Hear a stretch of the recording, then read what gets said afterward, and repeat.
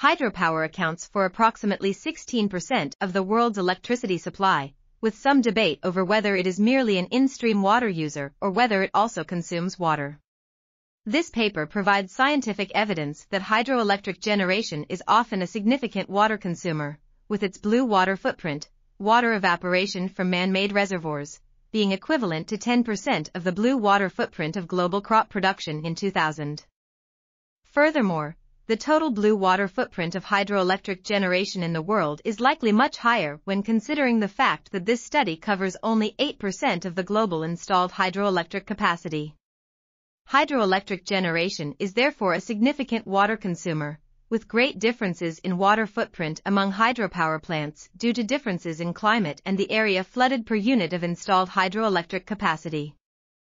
To ensure sustainable use of water resources, water footprint assessments should be included in evaluations of new hydropower plants and existing hydroelectric dams, so that the consequences of the water footprint of hydroelectric generation on downstream environmental flows and other water users can be evaluated.